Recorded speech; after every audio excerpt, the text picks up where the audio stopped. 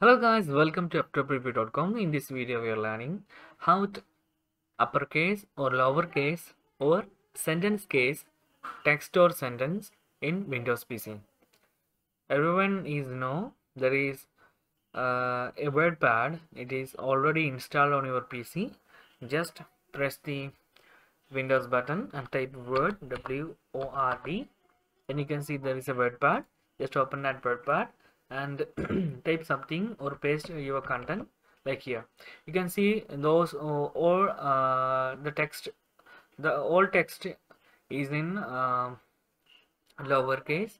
If you want to change to uppercase or uh, lowercase or any sentence case you can easily do that by pressing a shortcut in windows.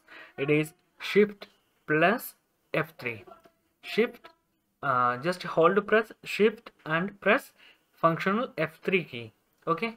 We are just trying that uh, select all the text and just press shift F3 for one. Now it is all the all, all text are changed to now sentence case. Uh, press one more time. Now it is all text are changed to capital uh, capital case or uppercase then one more time we are pressing that button again it is all of the sentence it will be converted to lowercase okay? You can easily do that by pressing shift plus f3 it is only working in windows wordpad not working on notepad. Thank you so much for watching. Have a nice day. Bye bye